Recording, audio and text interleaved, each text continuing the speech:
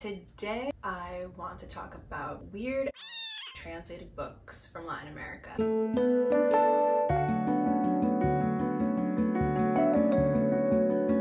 So once upon a time I took an Amtrak to Boston and in my book bag as my companion I had Samanta Schweblin's Seven Empty Houses.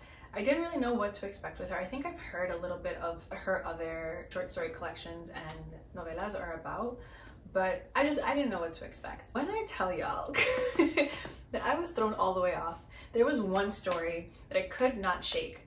And as I'm wont to do when I am thought haunted by a collection is that I will typically go down a rabbit hole of that author's interviews. So I started watching some Sammy Schweb interviews and there was one where she was talking about this tradition in Latin American storytelling that sort of encompasses this idea of the narrative of the unusual.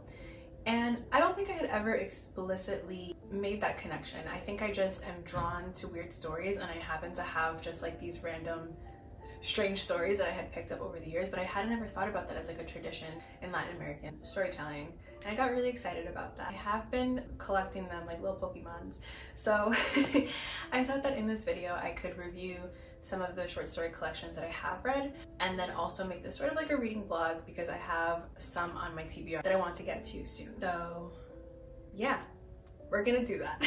so in this interview, Samanta Schweblin talks about her obsession with the strange, with things that sort of linger in the spaces between surrealism and realism. She talks about not exactly wanting to be of horror or of suspense. She talks about minimal tensions, which I think are so interesting and I think that's what I'm I'm most drawn to when I'm reading it. I, I like when things are a little bit off and she talks about this. She said, when there's just something slight that's off, you start to squint, you start to listen a little more, you start to pay attention. And I like getting close to the page and trying to figure out what's awry. There's also this beautiful part where she talks about when you don't exactly know what's happening, you can't label the thing. And when you can't label the thing, you're in a state of aperture.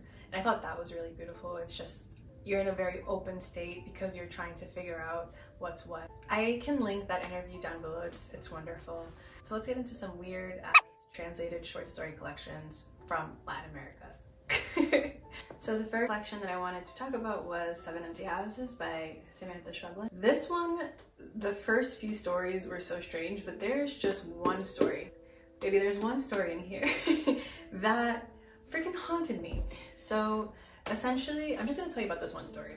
Essentially, we have these siblings. We have two sisters and it's our narrator's birthday. And in order to take the attention away from our narrator, the sister drinks a cup of bleach. And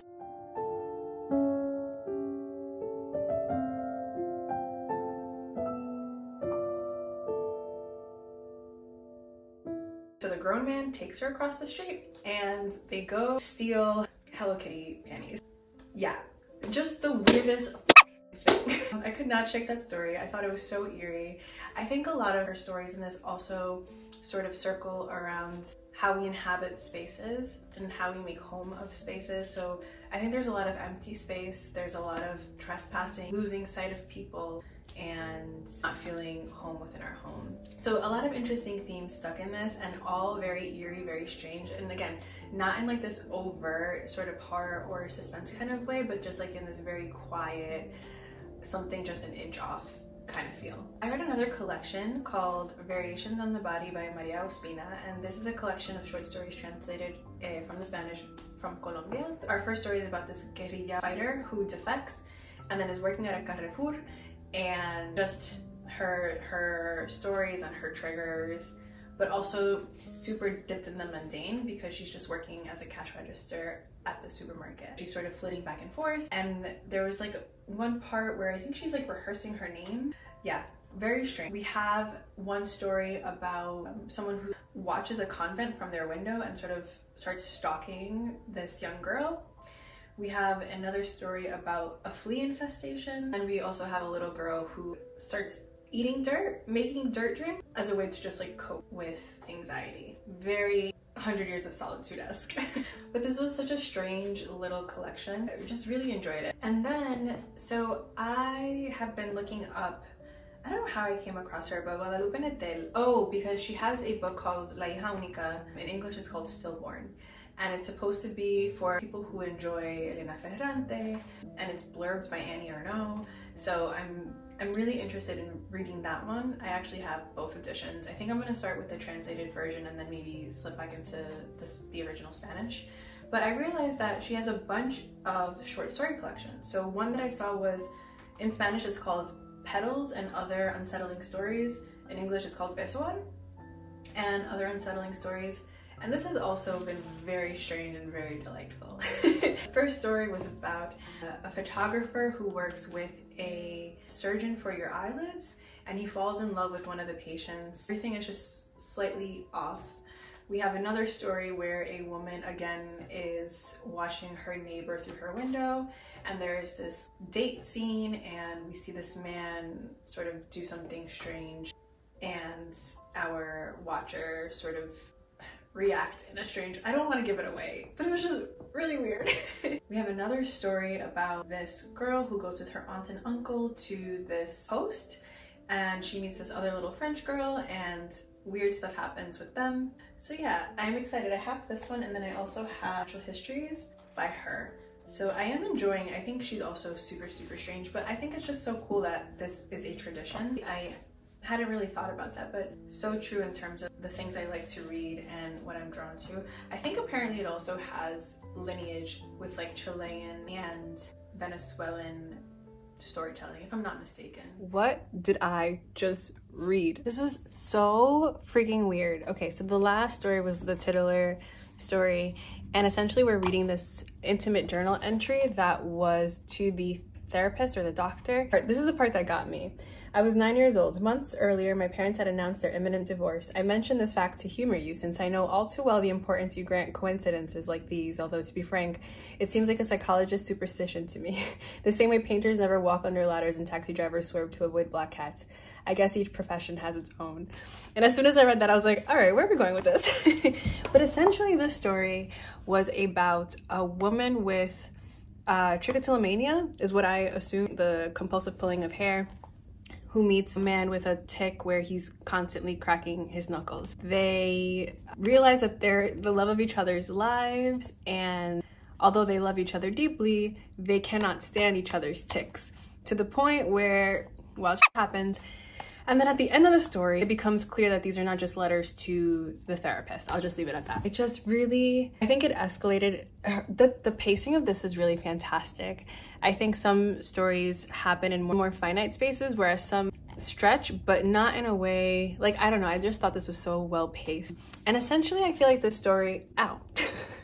I feel like these stories all explored the small things that we believe make us strange or undesirable and how there is always that one person who will love that about you. So in that first story, we had the oculist photographer who fell in love with one of the patients who was to go and get her eyelids corrected. There was another story about sort of presenting yourself or what you expect people to want to love and then how when you do reveal who you are that is the thing that is endearing to someone and then we have the story about the she calls him an olfactorist this guy who would like stake out in public restrooms and found this intoxicating scent and then fell in love with whoever the scent belonged to and then went on a quest to find the woman whose scent it was and it was very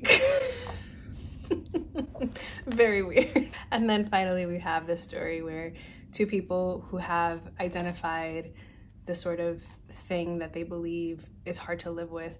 And the last story is interesting because it sort of brings this idea of like we're confronting the thing that we think that other people won't love.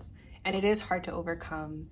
And I don't know that they overcome it in the story, but I think this idea of just like taking these small details about people because I think we all have it. Maybe not to this level, but we all have those strange things that uh, we're quite insecure about. To sort of see these things sought after and almost become subject of obsession in someone else was just so interesting and like quite uplifting, but I don't want that to take away from the fact that this was a weird, this was eerie as hell. I really enjoyed it. I'm really excited. So I'm gonna pick up natural histories. I was actually gonna pick up rock eaters and then natural histories, but I think I'm just gonna go straight to natural histories because I want I want more. Hey. so I know I said I was picking up Natural Histories by Guadalupe Nettel, but I started reading it and I think the first story was about like a cockroach and not my thing. so I switched over and now I'm reading another Sammy Schweppes. I'm reading Mouthful of Birds and I am fully, I'm only up to the second story. I might be talking, but I really liked it. The first story was so eerie, so strange. My heart, I'm really, I don't like to be stressed.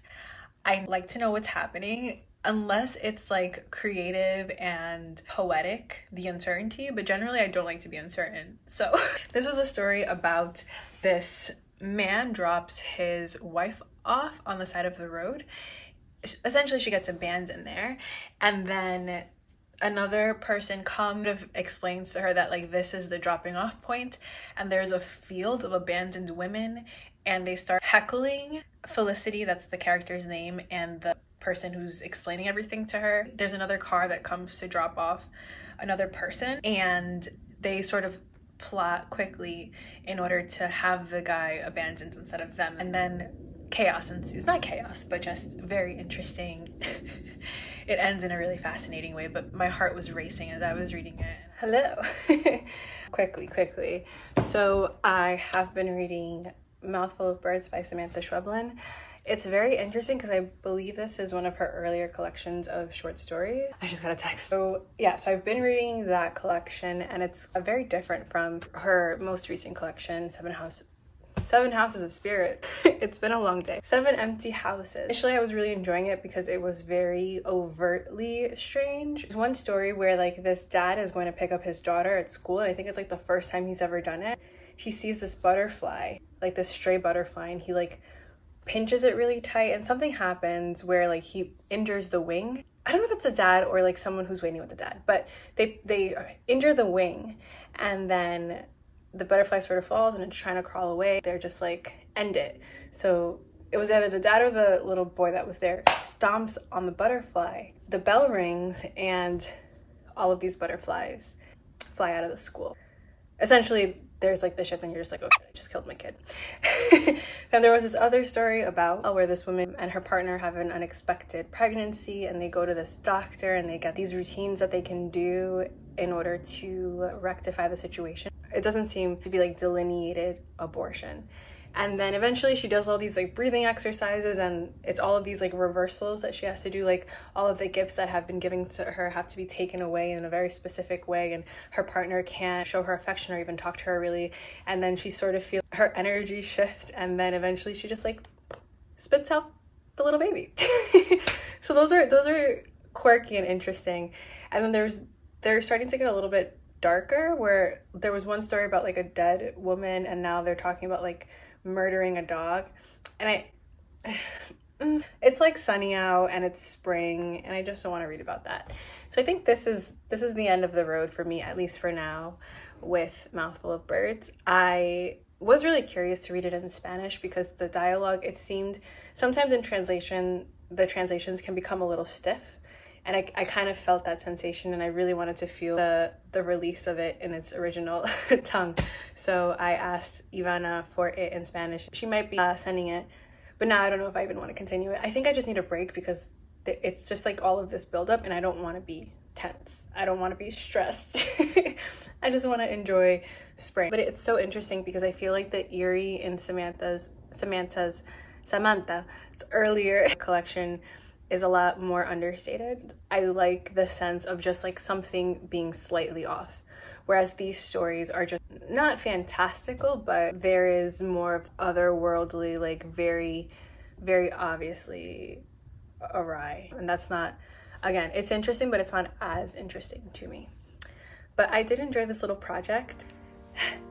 Comments are open if you have a weird translated short story collection, maybe not from Latin America, maybe from another place and maybe not even translated, maybe in the English. I would be very eager to hear your recommendation. And yeah, let me know how you're doing. Happy spring.